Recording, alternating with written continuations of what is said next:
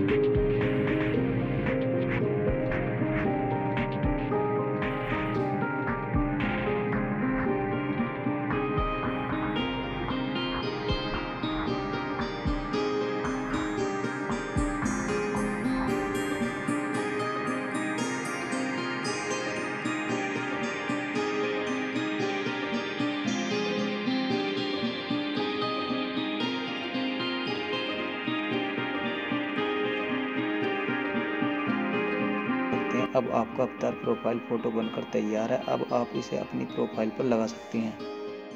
ऐसी ही knowledgeable video पाने के लिए हमारे वीडियो को लाइक चैनल को सब्सक्राइब करें